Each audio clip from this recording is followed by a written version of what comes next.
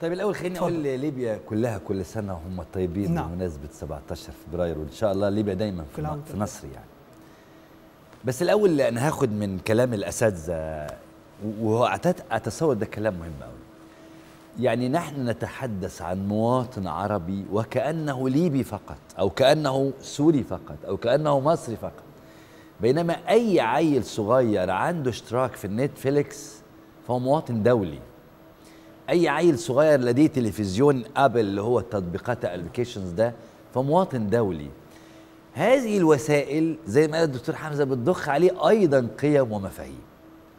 وده الخطر جدا في الموضوع. أنت لم تعد تتحكم في عقلية المشاهد العربي. المشاهد العربي أصبح مشاهد دولي. أصبحت المزيكا أي صيغة مز... مز- مزيكا بقت خلاص ما بقتش في بقى مزيكا سوري إيه، ليبي لا بقت المزيكا شكل عالمي وخلاص. الناس بتقبل الراب بيتغنى في أي حتة. طيب ليه بقول ده بقى؟ لأن أصبح مزاج المواطن العربي على منهج ال application يعني عارف فكرة ال applications دي؟ تطبيقات. يعني mood لعب. نعم. mood كذا mood كذا. الصندوق أو السند بالظبط كده. تم تعليمه يعني. ليه بقى بقول الكلام ده؟ خليني أرجع بس أقول لك في الأول. هسأل سؤال و- و- وأنا هخلي إجابته للآخر. لماذا تنجح شركات الدعاية في ترويج منتج عبر الشاشة ولا ننجح نحن في ترويج قيم ومفاهيم وفكرة ممكن تكون آه، يعني عظيمة للمجتمع. لماذا تنجح شركات الدعاية والإعلام؟